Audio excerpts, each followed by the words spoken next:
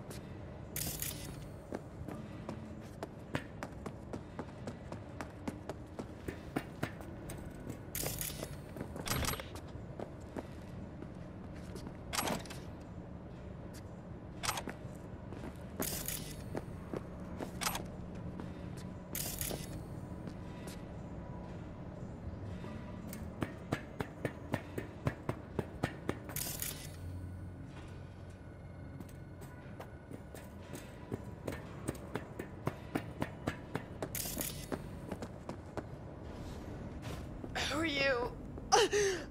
Not a doc, by chance, are you? Regina sent me. Duh. Of course. Always has her finger on the pulse.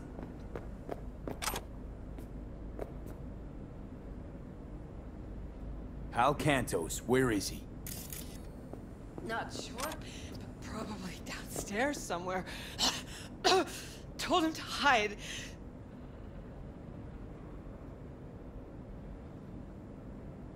So, the girl. Dead. I know. We're synced on the same net. You had no choice. Don't... Don't sweat it. The hell happened here? Hal was supposed to... to crack a BD for us? And he did. At least he said so.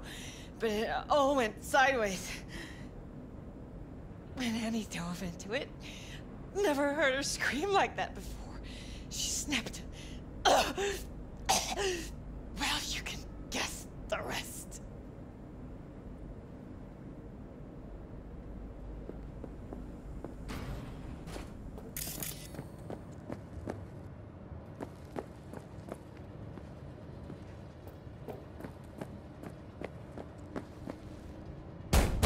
Hal! You alive?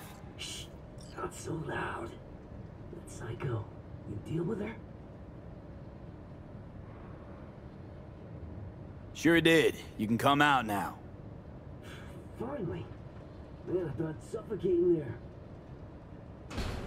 You know when you open your eyes in the morning and think, this is gonna be a shitty day? That nothing will go the way it should?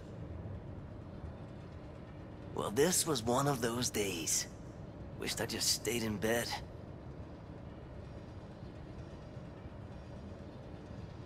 The other girl, the one upstairs. She's alive, but she's in a bad way. Bleeding. Think you can put her back together? I can't, but Regina will send someone around. It'll all be okay. Why'd that girl blow a fuse? Why do people get cyberpsychosis? Who the fuck knows? And nobody's too keen on finding out. Well, that's my job done then. Till next time. Next time? I fucking hope not.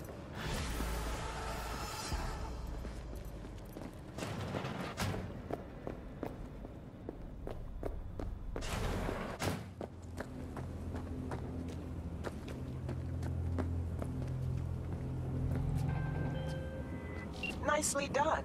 Hal's very happy, talks about you nonstop. Only good things, of course. And remember, V, word gets around. Closing the gig.